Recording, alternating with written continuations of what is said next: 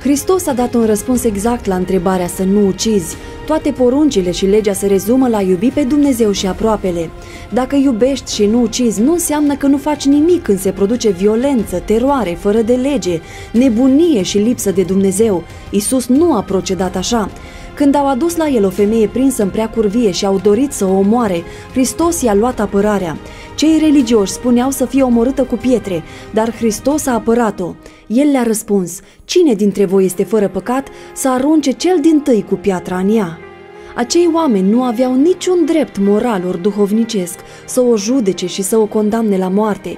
Inimile lor s-au transformat în pietre nu au aplicat poruncile și legea lui Dumnezeu față de ei înșiși, ci ca să judece aproapele pe alții, deși chiar ei făceau fără de lege.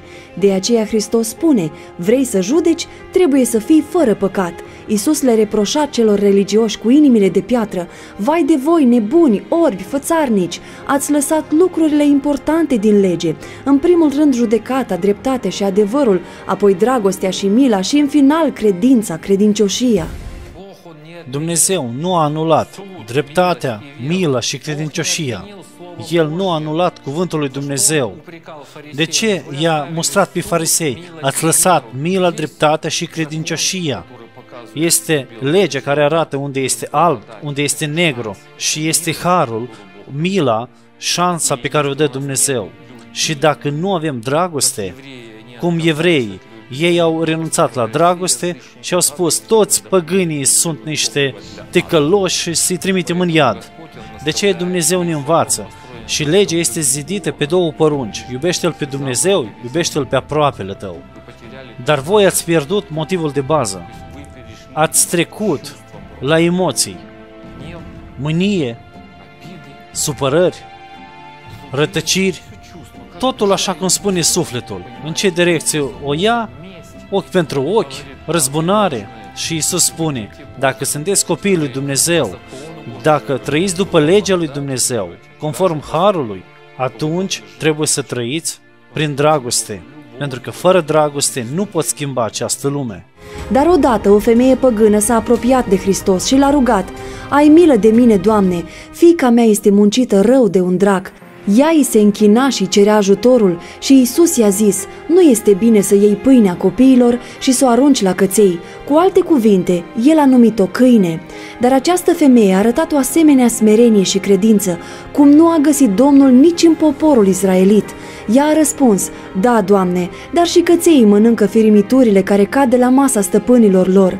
Atunci Isus i-a zis, o femeie, mare este credința ta, facă-ți-se cum voiești. Și fica ei s-a tămăduit chiar în ceasul acela, dar fariseii și adepții lor nu aveau credință din cauza mândriei și fățărniciei.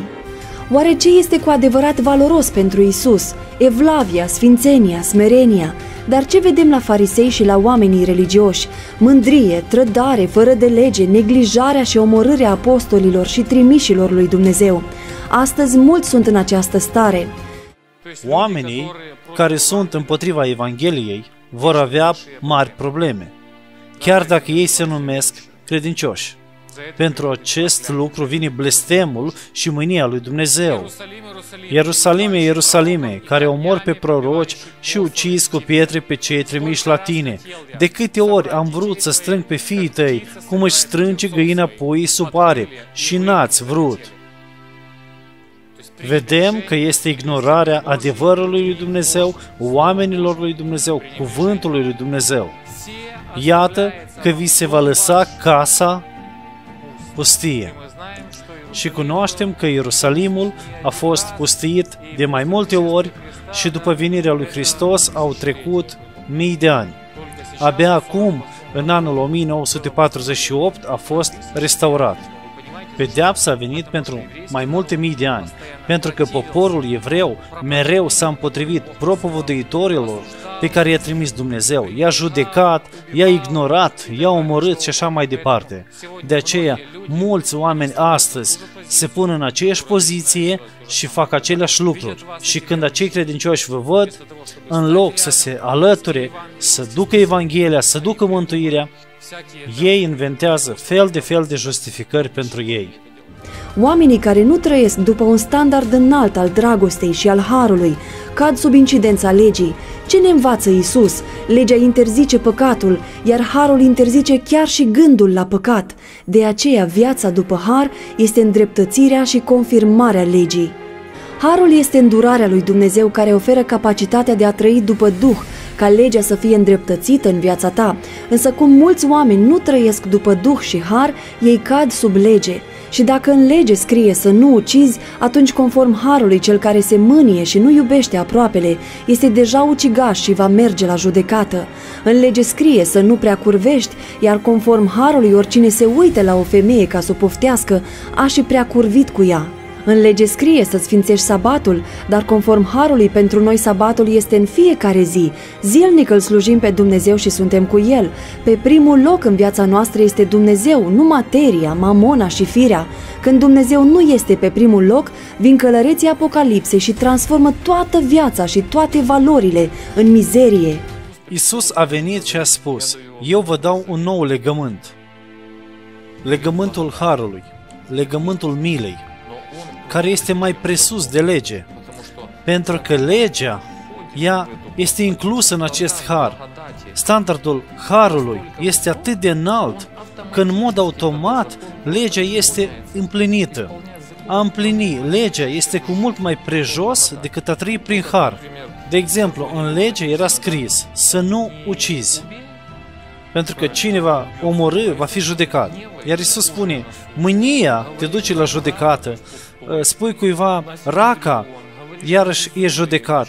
Spui cuiva nebunule, Isus spune că te așteaptă ghena de foc. Atunci, care standard este mai înalt? Pentru că mulți astăzi încearcă să-i pervertească și spun că harul înseamnă să trăiesc cum vreau, păcătuiesc, însă Dumnezeu acoperă totul, a iertat totul, dar este nebunie, este necunoașterea lui Dumnezeu, este amăgirea satanică. Și să nu vă lăsați amăgiți de aceste lucruri, nu le răspândiți. Este total împotriva adevărului și cuvântului lui Dumnezeu. Și Isus spune, neprihănirea voastră să întreacă neprihănirea fariseilor. Dacă suntem creștini, dacă am fost botezați, ne-am îmbrăcat în Hristos și am devenit trupul Lui, dacă trăim conform Harului și Duhului, în viața noastră nu se produce încălcarea legii, ci întărirea și îndreptățirea ei. Isus a zis, dacă neprihănirea voastră nu va întrece neprihănirea cărturarilor, fariseilor și fățarnicilor, nu veți fi mântuiți. Ei au dat zeciuială, dar noi trebuie să facem mai mult. Ei au încălcat și au ignorat judecata dreaptă, numeau negru alb și albul negru, dar noi trebuie să fim sinceri, onești și corecți. Ei au arătat milă față de infractorul Baraba, dar l-au răstignit și omorât pe Hristos cel Sfânt. Noi, creștinii, trebuie să arătăm compasiune, milă și îndurare celor apropiați și în nevoie. Ei nu au fost credincioși cuvântului lui Dumnezeu, dar noi trebuie să fim credincioși, să păstrăm credința și credincioșia față de cuvântul lui Dumnezeu, să nu adăugăm și să nu scădem nimic, după cum a spus și Isus. Dacă va adăuga cineva ceva la cuvântul lui Dumnezeu, peste acela Dumnezeu va trimite urgii, iar dacă scoate cineva ceva din cuvintele cărții acestei prorocii, îi va scoate Dumnezeu partea lui de la pomul vieții și din cetatea sfântă.